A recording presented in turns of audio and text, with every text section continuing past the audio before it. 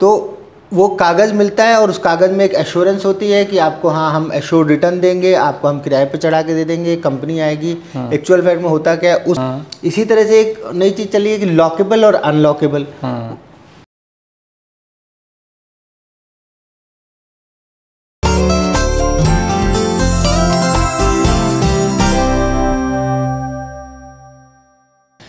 तो another view point के सभी दर्शकों को बहुत बहुत नमस्कार। प्रिय दर्शकों रियल एस्टेट में एक और सेगमेंट होता है virtual real estate virtual spaces virtual office spaces ये कॉन्सेप्ट बहुत ही अच्छे इरादे से शुरू किया गया था।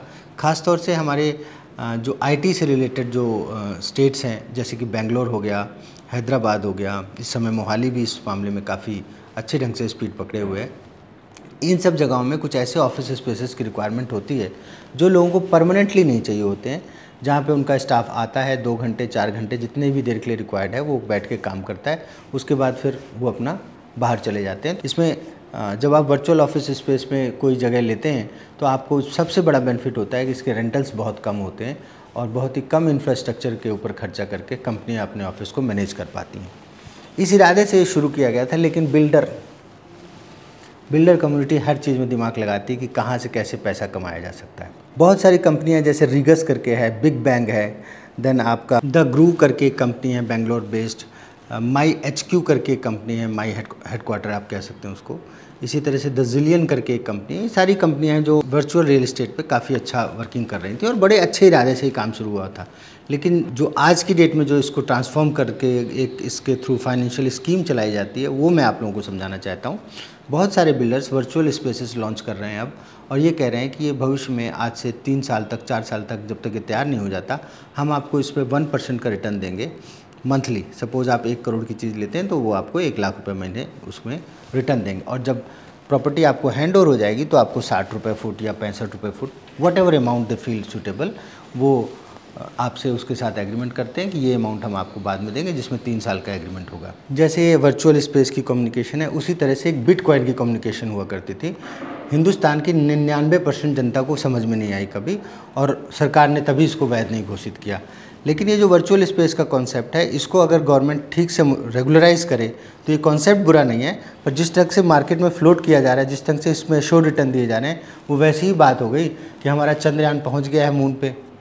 तो अब कोई बिल्डर एक स्कीम निकाल दे कि हम चंद्रमा में आपको प्लॉटिंग काट के दे रहे हैं, जो आपको अभी मिलेगी तो नहीं, पर उस पर आपको रिटर्न मिलेगा वन परसेंट तो एक्चुअल फैक्ट में क्या हुआ?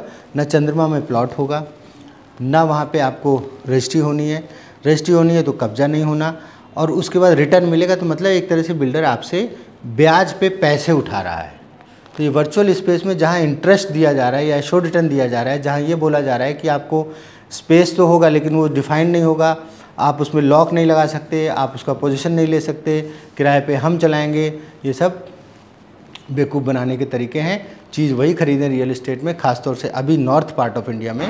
वही बेटर है जो आपके, जिसमें चाबी ताला आप लगा सकते हो। आज इस कॉन्सेप्ट पे डिटेल डिस्कशन करने के लिए मेरे मित्र हैं, उनके साथ हमारा छोटा सा डिस्कशन होना था तो हमने सोचा क्यों ना इस डिस्कशन में मेरे दर्शक भी पार्ट बने।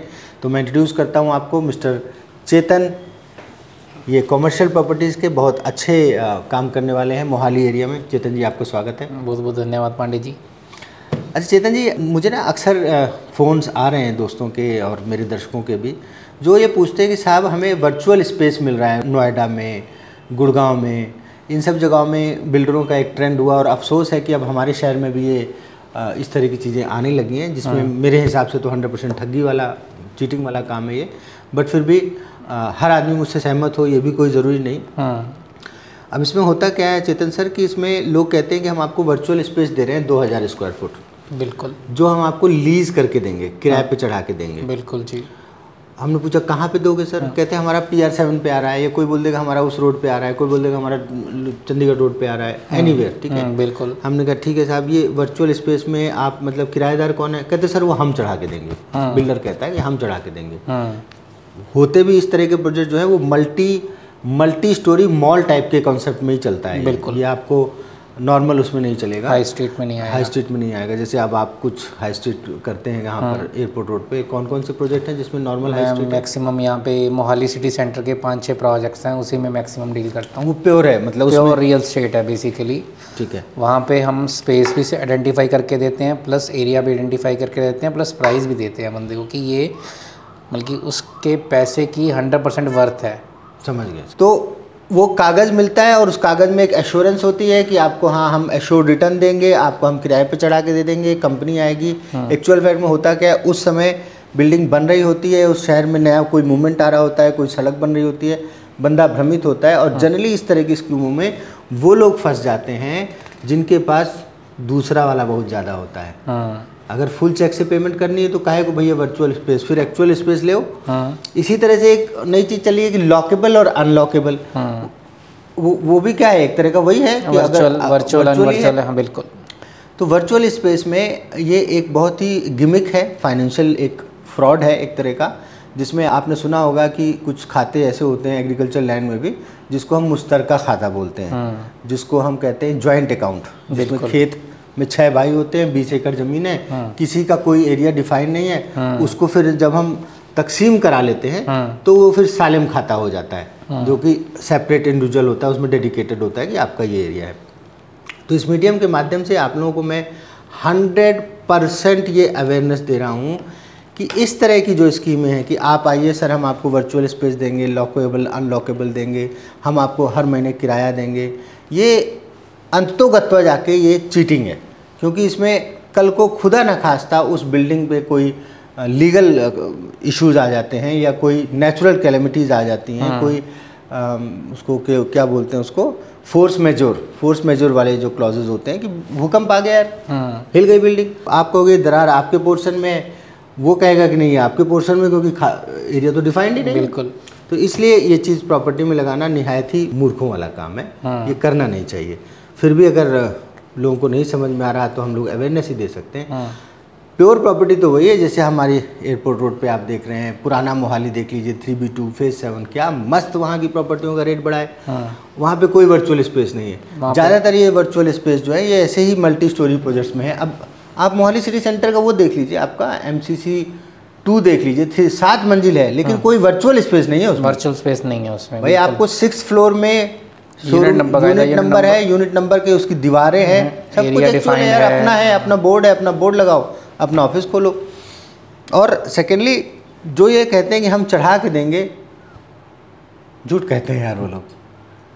वो चढ़ा के किसको दे रहे हैं? वो चढ़ा के फर्जी कंपनियाँ बनाते हैं फर्जी कंपनियाँ बना के वो उनको देते हैं। कोई कोई ज़रूर मैं मानता हूँ ग्राउंड फ्लोर वगैरह पे they get actual tenants but otherwise जो ऊपर वाले फ्लोर्स हैं उसमें 80 परसेंट मैं ये नहीं कहता सभी कोई बट ये है कि 80 परसेंट लोग उसमें अ, मतलब उसमें लपेटे जाते हैं उनके जाल साथ में और बाद में बिल्डर बेच बाज के चला जाता है उसके बाद आपका किराएदार भी चला गया हाँ। बिल्डिंग खाली होगी टांगे रहो टूलेट हाँ करते रहो फ़ोन पांडे सर हमारा फ्लोर है चढ़ नहीं रहा है चढ़ा दीजिए पांडे सर कहाँ चढ़ा दें यार जब तो आपने चीज़ ऐसी ले ली तो इसी तरह से एक और कम्युनिकेशन चलती है कि शिमला में जी हमारे एक रिजॉर्ट आ रहा है जी हाँ। उसमें आप कमरा बुक करा लीजिए। हाँ। साल में आपको 15 डेज़ का 30 डेज़ का वहाँ का स्टे हम देंगे। हाँ। वो आप चूज़ कर सकते हैं अपनी। बड़े आप यहाँ बहुत कई बिल्डर्स कर रहे हैं ऐसा। नाम नहीं लेते हैं चलो किसी हाँ। का। उसके बाद वो कहते हैं कि वो हम वो हमारा टाई अप हो गया है क्लब महिंद्रा से या फलाने कंपनी से या मतलब किसी बहुत बड़ी कंपनी का नाम लेंगे। अब क्लब महिंद्रा का नाम लेता है आदमी तो बंदा कहता है कि यार इससे बढ़िया तो कोई कंपनी है ही नहीं रिजॉर्ट्स में। या वो लेंगे कि हमारा ताज ग्रुप से टाई अप हो गया है। मतलब वो नाम ऐसे समुदाय का ऐसे संगठन का लेंगे कि सुन करके आपको ये लगेगा कि अगर यार प्रॉपर्टी भी मिल रही है हाँ। फिर वो कहते हैं इसको ये ये ताज होटल इसको रेंट पे चलाएगा सारा मैनेजमेंट हम करेंगे आपको कुछ नहीं करना सर और हम आपको पर मंथ जो भी हमारा रेवेन्यू आएगा मान लीजिए कमरा तीन हज़ार रुपये में चढ़ता है तो डेली का आपका किराया सपोज़ कमरा दस हज़ार में चढ़ता है तो उस हिसाब से वो रेशो डिसाइड कर लेते हैं कि हम आपको डेली का छः हज़ार रुपये आपका है चार हज़ार रुपये हमारी मैनेजमेंट फ़ीस है आप कैलकुलेट करते हो कि यार हमने एक करोड़ का कमरा लिया। हाँ। अब देखो कैसे क्या बोलूँ यार? बोल दूँगा तो ये पब्लिक डोमेन में अच्छा नहीं लगता। मतलब गलत हो रहा है। अब एक करोड़ का आपने एक कमरा लिया ठीक? वो दिखाएँगे उसको कि ये साहब ये होटल बनना है हमारा। हाँ। ये देखिए ये हमारे ऑलरेडी दो बनाए हुए हैं। हाँ। उनको बोलो चल यार दिखा चल के जरा बनाए हुए हैं तो कैसे चल रहे हैं? नहीं अभी सर बस फिनिशिंग स्टेज में है। तुरंत ही पीछे पीछे और वहाँ रिटर्न जा रही है कस्टमर को बोलो हाँ सर पक्का जा रही है। अब ये क्या करते हैं?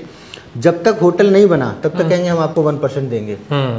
पहला तो उन्होंने माला आपको वहीं पहना दिया हम्म। कि आपको ये अच्छा जब तक होटल नहीं बनेगा तो हम बन एक्चुअली वो होटल बनना ही नहीं है। हम्म। वो वन परसेंट ही चलना है आपका कच्चे का जो बी अमाउंट का पैसा है वो एक बार अंदर घुसा हम्म। उसके बाद वो महीना साल भर डेढ़ साल आपको रिटर्न आई उसके बाद कहेंगे कि सर वो फॉरेस्ट डिपार्टमेंट का इशू हो गया है। कभी कहेंगे आपको तो पता ही है सर कितनी बारिश हुई है पहाड़ों में बहुत बुरा हाल है अब उसके आप आप भी बोलोगे कि हाँ यार वो तो देखा हमने भी टीवी में देखा। तो कहते सर इसलिए अभी काम बंद है बस उसके बाद ख़त्म कहानी रिटर्न भी आपका बंद है सर स्टार्ट कर देंगे।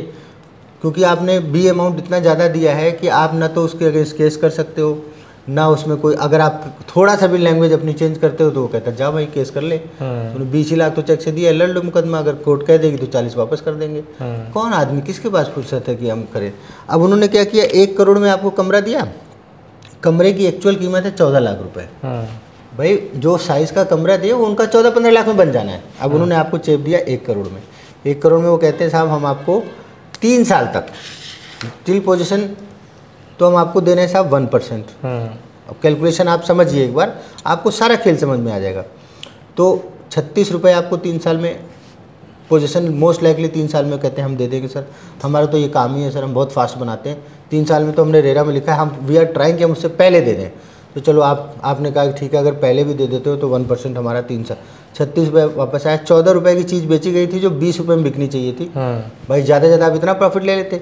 अब वो दी गई है आपको सौ रुपये की। हम्म छत्तीस रुपये आपको एक किस्तों में वापस आया इंस्टॉलमेंट में तो वैसे ही आप इसकी वैल्यू खत्म हो गई।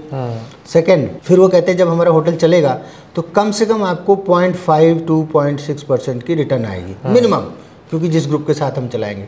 इसके लिए भी हम आपको तीन साल का लॉक इन दे रहे हैं सर कि अगर हमारा जेडब्ल्यू मेरिट के साथ टाइप है तो तीन साल तक जेडब्ल्यू मेरिट छोड़ के नहीं जाएगा उसके बाद ही दूसरा ग्रुप आएगा। फिर उन्होंने आपको बताया कि इसका अगर हम पॉइंट फाइव भी लगा के चलें तो इसका मतलब चालीस पैसे के आसपास आएगी। तो तीन साल में ये भी हो गई आपकी जैसे यहाँ छत्तीस हो गई थी यहाँ हो गई आपकी। पंद्रह से पंद्रह सोलह रुपये हो गई। हम्म अब सौ रुपये की चीज़ में आपको वापसी कितनी आ गई?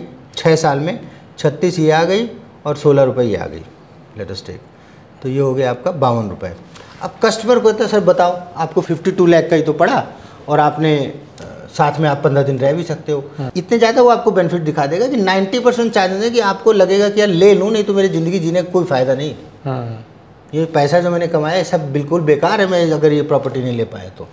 फिर वो बताएगा कि सर देखिए यहाँ पे सलमान खान ने भी ले रखा है हम्म फलाने हीरो ने भी ले रखा है पंजाबी किसी अच्छे हीरो का नाम ले देगा इन्होंने भी ले रखा है।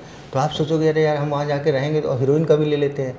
तो हमारे जैसे आदमी हीरोइन के चक्कर में ले लेते हैं कि यार चलो जाएँगे तो कम से कम हीरोइन देखने को मिलेगी।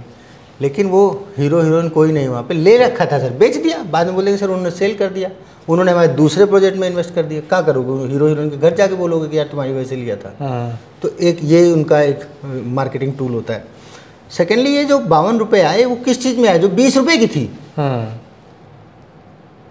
तो इस तरह से बेवकूफ़ बनाते हैं। तो ये जो इस तरह की स्कीमें चलती हैं कि हम आपको रिजॉर्ट में कमरा दे रहे हैं आप बुक करा लीजिए। Hundred percent fraud.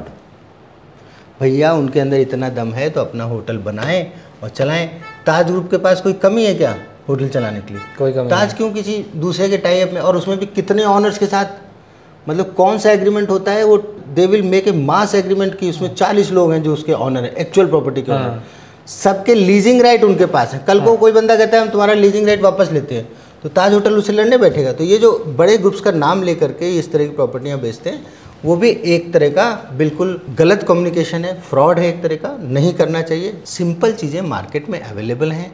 आपको होटल का ही शौक है तो चलो भाई आओ मेरे फ़ोन करो मुझे। मैं आपको फ़र्स्ट क्लास एक लैंड दिलाता हूँ रेडिसन के बगल में। आप वहाँ अपना होटल बनाओ चालीस कमरों का। हाँ। आप अगर चाहते हो कि हमको इसी इसी तरह का कुछ प्लान हो जाए आप चार दोस्त पाँच दोस्त जो इस कम्युनिटी को बिलोंग करते हैं जो ऐसे रिजॉर्ट में रुकना चाहते हैं उनके दोस्त भी वैसे ही होते हैं। आप लोग आपस में मिल करके पर्सनल ज़मीन खरीदो और रिजॉर्ट बना लो। होटल बना लो। इतना बड़ा होटल बनाने की ज़रूरत नहीं है। आपको हिमाचल में 500 गज से ऊपर की भी कोई कम्युनिकेशन है 500 मीटर से ऊपर की तो आप उसको एज ए टूरिज़्म में आप उसको पास करा सकते हैं। तो मुझे उम्मीद है कि आप लोगों को ये बातें समझ में आई होंगी। वीडियो के डिस्क्रिप्शन में भी हम इसका सारा डिटेल लिख के दे देते हैं।